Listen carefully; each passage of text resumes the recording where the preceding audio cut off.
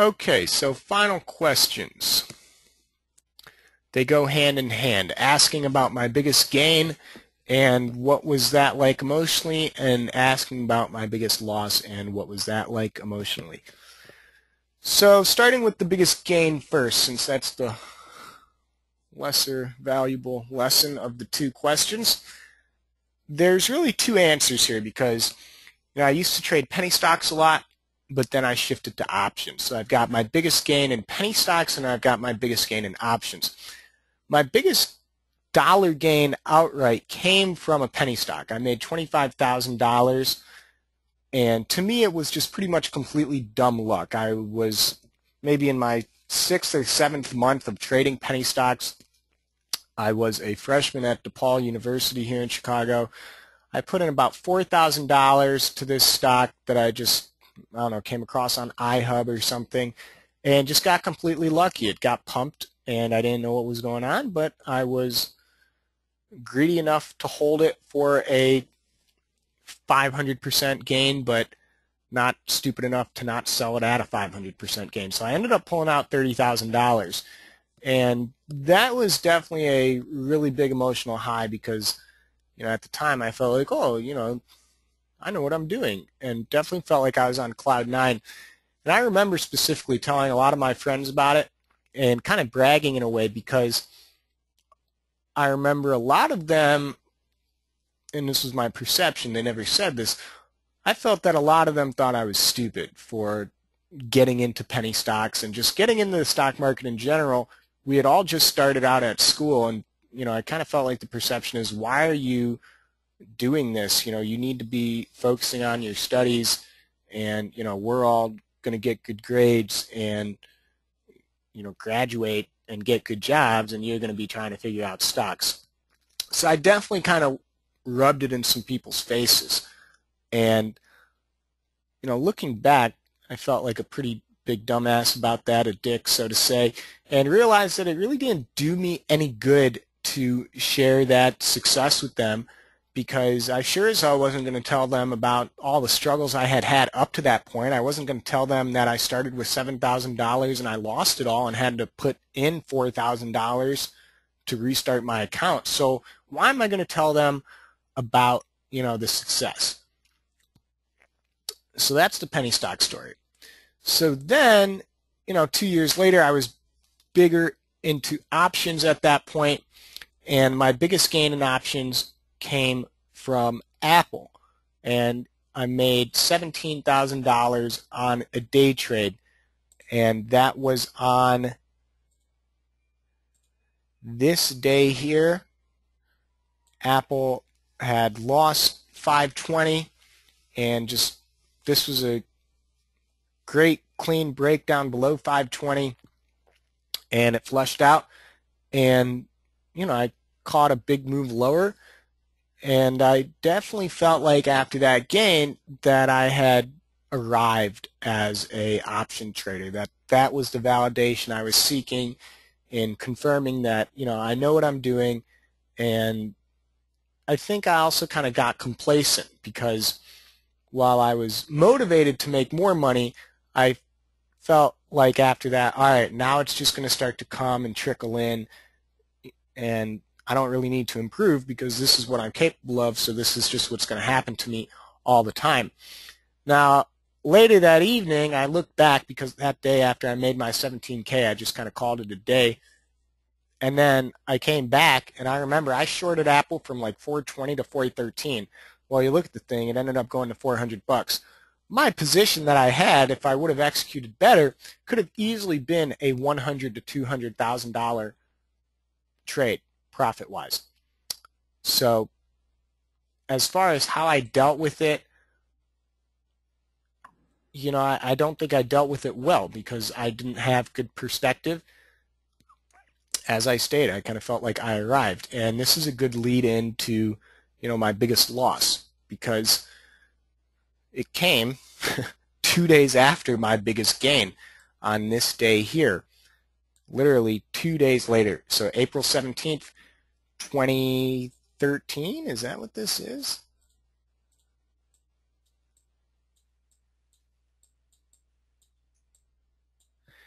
Yeah, it's got to be. So then two days later, April 19th, on this day that I just circled, that was my biggest loss ever. It ended up being much bigger than my biggest gain ever. The total amount was a $42,000 loss in one trade, which was about 85% of my portfolio at the time I was trading. And, you know, I didn't deal with that very well at all. I, I would honestly say it was extremely depressing and life-changing, really, and it consumed me for a long time. I don't think I got over it. This was April 2013. I honestly don't think I got over it until September or October of last year. So, you know, what, May, June, July, August, I mean, about four to six months, that loss was legit on my mind every day, all day, and was really a motivating factor for a lot of the things I was doing, which you could guess probably wasn't a good motivating factor for everything I was doing. And basically what happened before I go into, you know, how I feel like I dealt with it, what happened is, you know, this day right here when I made the 17K on a great trade, well, I tried to make the exact same trade on April 19th. The problem was the price was different. You can see Apple had lost 420. That day it was around 390, so you're talking about a $30 drop already. Secondly, the price action was different. You could see volumes lower. The range was tighter. Okay, It wasn't breaking below the previous day's low like it was on that day I made the big gain. So just overall, the setup was different. And as you might have been able to guess before I even told you what happened, the result was very different as well. So that was the that's the execution side of you know what I did wrong. I tried to make a trade that wasn't there. So the other thing that's interesting is I was actually live trading at the time, and how I dealt with it immediately is I really just kind of shut down. I felt extremely embarrassed and reckless. I turned off the live trading system without saying anything to anyone. I just made a message in chat that kind of said, fuck, blew up my account. Really sorry, guys. I'll see you Monday. And, you know, after I signed off, I just remember kind of losing control and just yelling, being extremely upset with myself and, you know, wanting to punch a hole through the wall. Why the fuck would I do something like that? I remember looking in the mirror and saying to myself, are you happy now? Are you happy with what you did?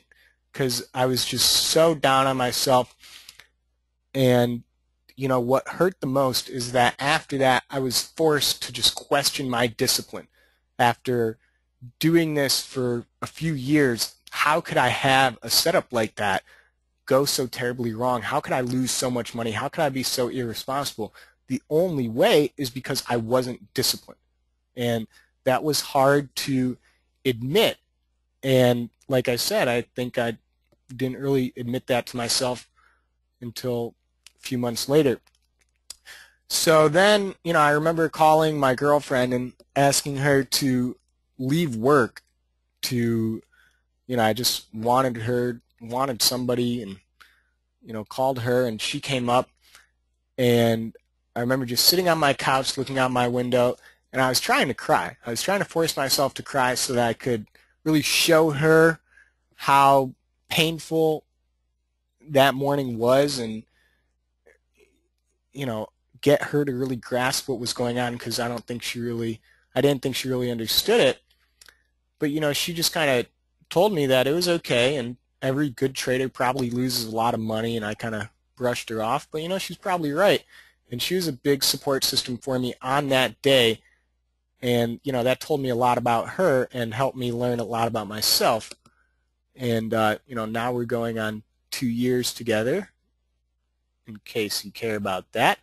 But so she calmed me down, and then I went and shot around at the gym because basketball has always been an outlet for me really my entire life. Started playing at a young age, and if I'm frustrated or anything, I can always find solace on the basketball court.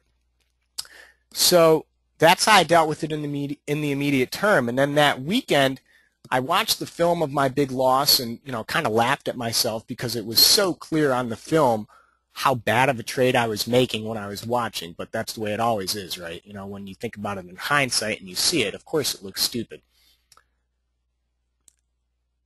But, you know, the reason I say that I dealt with the loss for months is because as bad as I wanted to, I couldn't shake how embarrassed I was and disappointed in myself really all summer. Because remember, I had this service. I had just launched Watch Him Trade in March, and this shit happened in April.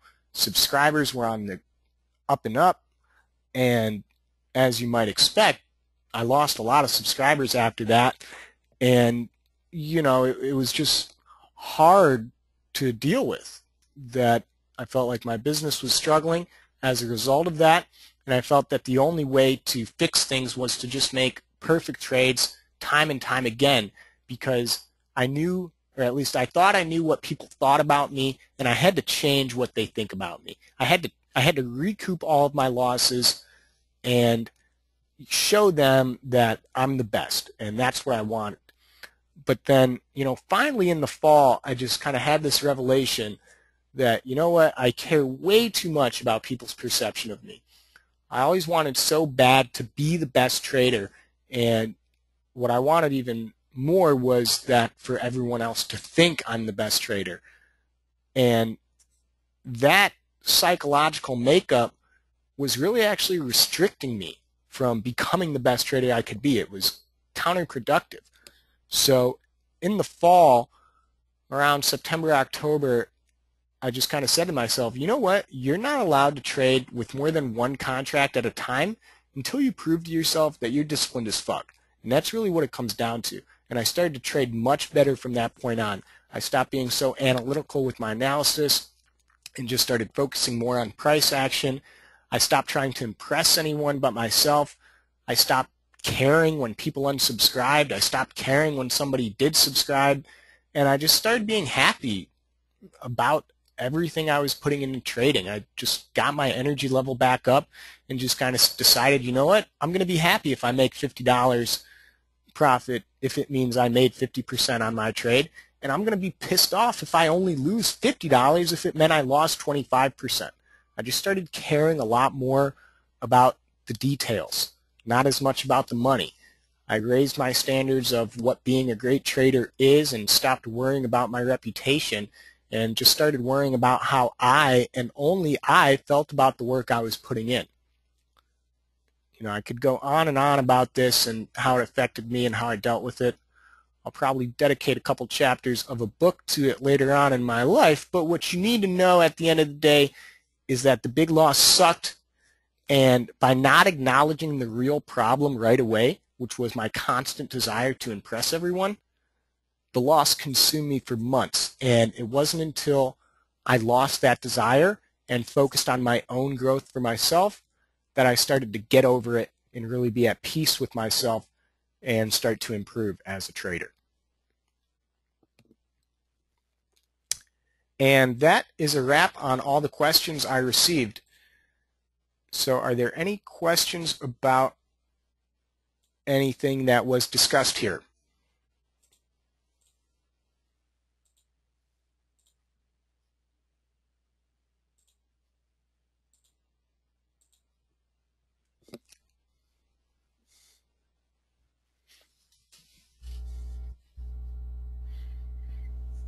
Questions going once?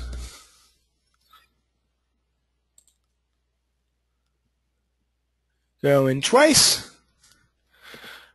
All right, guys, thank you for attending. This was recorded, so it will be posted to the site and emailed out to you for your review.